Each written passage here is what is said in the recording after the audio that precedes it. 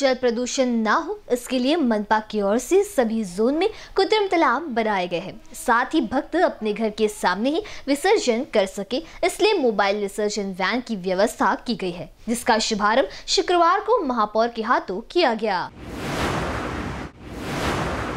जल प्रदूषण रोकने के लिए तालाबों में मूर्ति विसर्जन पर रोक लगाई गई है। शहर में सभी जोन में कृत्रिम टैंक लगाए जा रहे हैं। इसके साथ ही जोन स्तर पर मोबाइल विसर्जन वाहन घर घर पहुँचेंगे। इसकी शुरुआत शुक्रवार को महापौर दयाशंकर तिवारी इनकी उपस्थिति में की गई। इस शुभारंभ कार्यक्रम में गांधी बाग जोन सभापति वृद्धा पाठक भी उपस्थित थी। महापौर दयाशंकर तिवारी ने बताया की तालाबों में मूर्तियाँ विसर्जित न हो, इसके लिए नागपुर महानगर पालिका की ओर से से 2012 से ये मुहिम चलाई जा रही है। इस योजना के चलते सभी भक्त अपने घर के सामने ही गणेश विसर्जन कर पाएंगे। नागपूर महानगरपालिकेच्या माध्यमातून नैसर्गिक जलस्रोतमध्ये विसर्जन नाही झाला पाहिजे अशी प्रकारची मोहीम मागेल दोन हजार बारापासून राबवण्यात येत आहे. त्याच परंपरेला समोर जाऊन घराच्या समोर विसर्जन होऊ शकेल अशी व्यवस्था उभारण्याचे निर्देश देण्यात आले होते. दहाही झोनमध्ये आम्ही चालता फिरता विसर्जन केंद्र उपलब्ध केलेलं आहे महानगरपालिकेने प्रत्येक झोनप्रमाणे तिथे फ़ोन नंबर दिलेले आहे ऑन डिमांड ज्याचा फ़ोन आला त्याच्या घरापर्यंत जाऊन मूर्ती गोळा करून, विसर्जन करून घ्यायचं या दृष्टीने हा नियोजन आहे।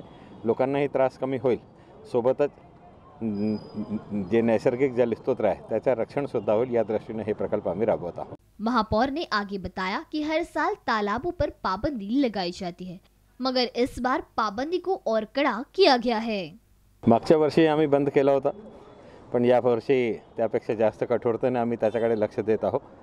याचं कारण असं आहे की दोन हजार बाराला नागपूर म्युन्सिपल कॉर्पोरेशनने एक कानून बनवला होता. तेव्हा मी स्टँडिंग कमिटीचा चेअरमॅन होतो. तेव्हा पी यू पीची मूर्तीवर पूर्ण बंदी घालण्याचा आम्ही एक कानून बनवला होता. कोर्टाने त्या कानूनचा ॲक्सेप्टन्स करून त्याच्यात विसर्जनावर जलस्त्रोतमध्ये पाबंदी आणली होती पण पी यू पीची मूर्ती विक्रीवर पाबंदीला नकारला होता. आता केंद्र शासनाचा कानूनसुद्धा झाला आहे सुप्रीम कोर्टचा फैसलासुद्धा आला आहे त्याच्यात महानगरपालिकेचा उल्लेखसुद्धा आहे की नागपूर महानगरपालिकेने सप्टेंबर दोन हजार तेरामध्ये हा कायदा केला होता. या सर्व दृष्टीला पाहून महानगरपालिकेने सुरू केलेला कानून जर देशभरात लागू होत आहे तर त्याचं सगळ्यात आयडियल व्यवस्था नागपूर म्युन्सिपल कॉर्पोरेशनची झाली आहे. ह्या या दृष्टीने आम्ही ही सर्व पाऊल उचललेले आहे. कार्यक्रम में उपस्थित सभापति वृद्धा पाठक ने कहा कि जल प्रदूषण ना हो इसके लिए मनपा की ओर से कदम उठाए गए हैं। उन्होंने कहा कि गांधी बाग जोन में कुछ 26 कृत्रिम टैंक लगाए गए हैं। आपले जे तलाव आहेत ते खराब होऊ नये. आपण टाक्या पण याच्यासाठी जागोजागी बांधलेले आहे.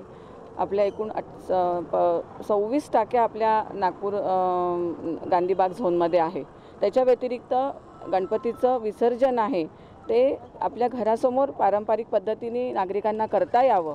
कुठलाही त्रास वा होऊ नये. ज्येष्ठ नागरिकांनासुद्धा त्रास होऊ नये या सगळ्या गोष्टीमध्ये. आणि एक सुरक्षिततासुद्धा असावी. म्हणून हे आपलं गणेश विसर्जनाचं चालतं फिरतं केंद्र ही गाडी आपण तयार केलेली आहे. आणि याचा नंबर दहाही झोनमधला माननीय महापौरांनी प्रसारित केला आहे. आपल्या गांधीबाग झोनमधला नंबर आहे nine seven six seven two four two nine two eight.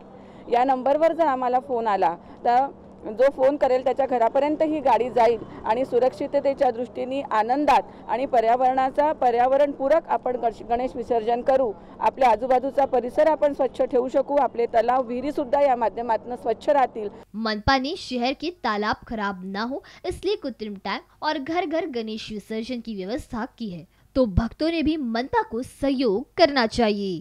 Camera person राजकुमार मोड़ के साथ अभिषेक पानसे बी न्यूज़ नागपुर।